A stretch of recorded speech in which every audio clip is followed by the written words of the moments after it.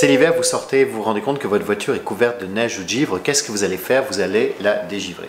Euh, c'est l'hiver, le commandant de bord s'approche de son avion et voit qu'il est recouvert de neige ou de givre. Qu'est-ce qu'il va faire? Il va la dégivrer également. Mais ça va se faire de manière un petit peu différente. C'est ce qu'on va parler aujourd'hui. Bienvenue à bord.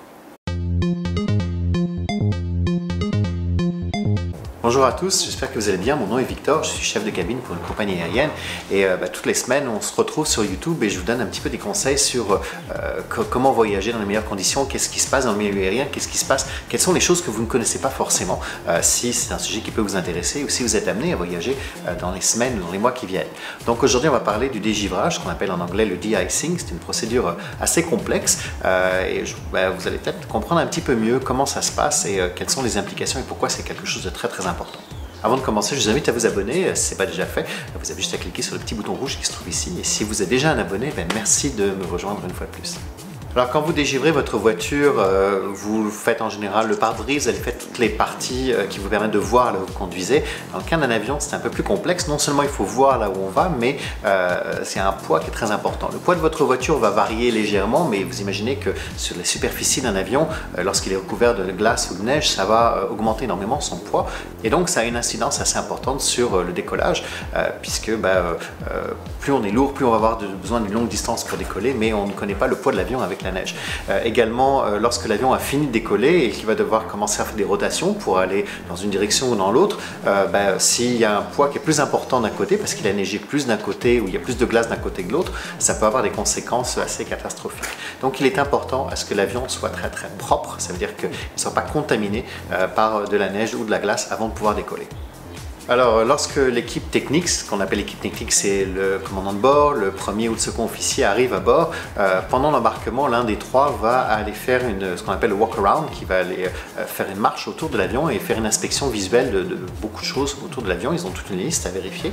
Et euh, si les conditions météo à l'extérieur ne sont pas très belles, eh bien, il va devoir éventuellement prendre la décision de demander un dégivrage. Donc ils remplissent un formulaire, ce formulaire est envoyé à l'équipe de dégivrage. Bien souvent c'est une compagnie privée dans les aéroports qui fait ça, euh, dans la plupart des cas en tout cas.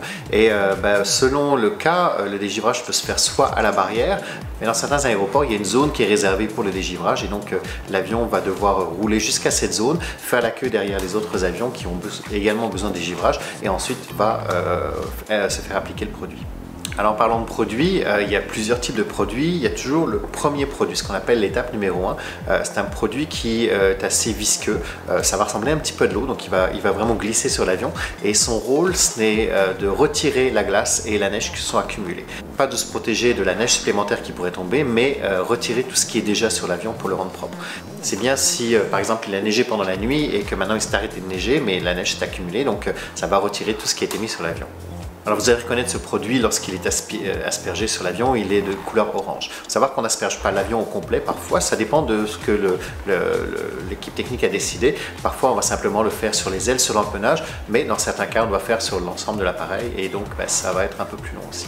Alors euh, la neige et la glace sont retirées. Maintenant, si on a des conditions qui sont euh, pas très très bonnes qui continuent à neiger euh, ou il continue à pleuvoir, il y a du verglas qui est en train de se créer, dans ce cas-là, on va passer à l'étape supplémentaire et on va rajouter un autre produit, un produit de type 2 ou de type 4. Le type 3 est réservé pour des plus petits avions, donc vous aurez moins de chances de le voir. Et donc, ces produits sont très similaires, simplement c'est leur durée d'action qui va changer. Donc le produit type 2, il est de couleur jaune et le type 4, il est de couleur verte. Ils vont être appliqués sur l'avion et euh, lorsqu'il va être appliqué, dans ce cas-là, l'équipe technique va devoir commencer à calculer un calcul qu'on appelle le hold over time, la durée totale euh, d'effet du produit. C'est en fait euh, la durée entre l'application du produit et le moment où le produit ne va plus agir parce qu'il a terminé. donc ce produit ne va pas retirer la glace existante mais va protéger l'accumulation de nouvelles glaces ou de nouvelles neiges. C'est-à-dire que s'il va neiger, normalement ça va le diluer et ça va faire partir euh, cette nouvelle neige ou cette nouvelle glace.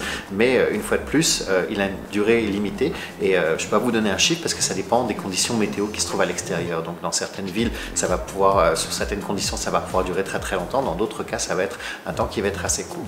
Et c'est là où le fait de se faire appliquer le produit à la barrière peut être gênant parce que vous faites appliquer le produit, par exemple, vous avez une durée de vie de 25 minutes du produit, il est appliqué à la barrière, vous allez commencer à faire le roulage et puis entre deux, les conditions météo se dégradent énormément et le produit de type 2 que vous avez appliqué n'est plus assez fort. On aurait dû mettre du type 4 qui est en fait la même chose mais étant plus fort. Ou simplement vous êtes toujours en attente et il y a un retard avec d'autres appareils et ben, au lieu d'avoir un roulage de 10 minutes, vous avez un roulage de 30 minutes. Et donc ben, dans ce cas-là, vous ne pouvez plus décoller, vous devez retourner à la barrière et vous faire réappliquer le produit. Donc ça a beaucoup d'incidence puisque ça va retarder le vol, ça va retarder les correspondances des passagers, ça va retarder les équipages, etc.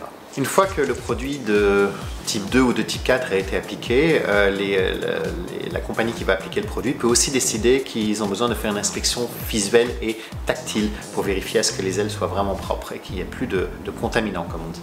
Euh, et donc, avec d'une grue, ils vont s'approcher, ils vont aller toucher les ailes ou toucher la partie euh, qui a été concernée et vérifier à ce qu'il n'y a absolument plus rien. Donc, c'est une inspection supplémentaire, ça prend encore du temps. Mais une fois de plus, lorsqu'on fait ça, c'est pour votre sécurité, la sécurité de l'équipage, mais aussi bien sûr la sécurité de tous les passagers.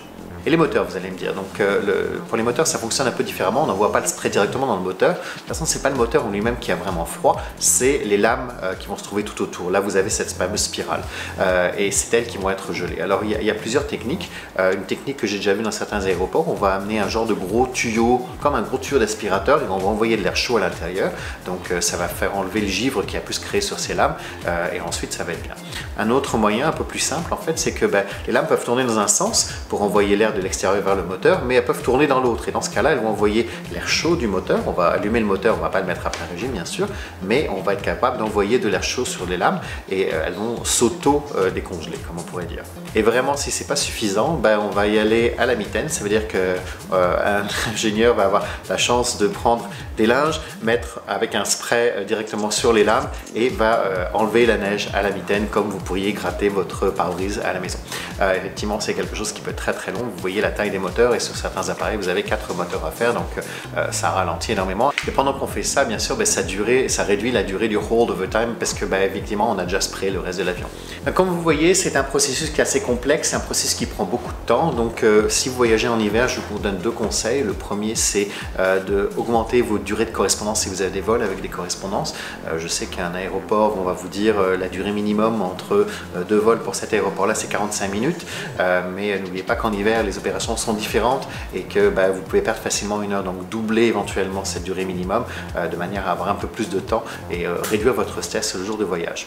Euh, l'autre conseil, c'est de prendre une assurance voyage. Je vous rappelle que dans la plupart des cas, si votre avion, votre vol est retardé suite à une condition météo, bien souvent les compagnies aériennes ne vont pas vous offrir d'hébergement. Et s'il n'y a plus de place pour vous pour pouvoir partir le même jour et que vous devez partir le lendemain, et eh bien, bien souvent vous allez finir par dormir par terre dans l'aéroport. Donc pour éviter ce genre de choses, avoir une assurance voyage va vous couvrir en cas de mauvaise météo. Donc pensez-y, lorsque vous avez un billet d'avion, ça peut valoir la peine euh, d'être couvert. C'est parfois votre carte de crédit peut le faire, mais sinon prenez une assurance directement. Euh, les banques, bien souvent, ont ce genre de choses. Les agences de voyage, il y a beaucoup d'endroits, mais ça dépend d'un pays à l'autre. Donc je ne peux pas vous donner un conseil spécifique sur une compagnie d'assurance. Voilà, j'espère que cette vidéo vous a plu. On a été un petit peu plus dans le côté technique aujourd'hui, mais c'est bien parce que moi j'ai dû faire des recherches pour pouvoir en apprendre plus. Je remercie un de mes collègues, Yann Peterson, qui est un pilote sur ma compagnie aérienne et qui m'a donné beaucoup d'informations parce que j'ai appris beaucoup pour euh, pouvoir faire euh, cette vidéo. Euh, si vous l'avez aimé, je vous invite à mettre un pouce vers le haut. Vous pouvez aussi la partager si vous connaissez quelqu'un qui voyage dans les semaines ou les mois qui s'en viennent, puisqu'on est encore dans les saisons d'hiver en ce moment.